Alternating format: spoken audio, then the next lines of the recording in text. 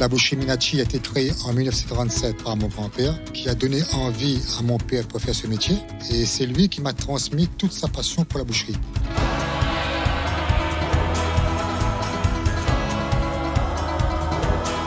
Ce métier de la boucherie, c'est vraiment ma passion que je voudrais transmettre à des jeunes. J'ai formé environ une cinquantaine d'apprentis pour demain qu'ils puissent reprendre le flambeau. La transmission, chez nous, elle se poursuit avec héritage.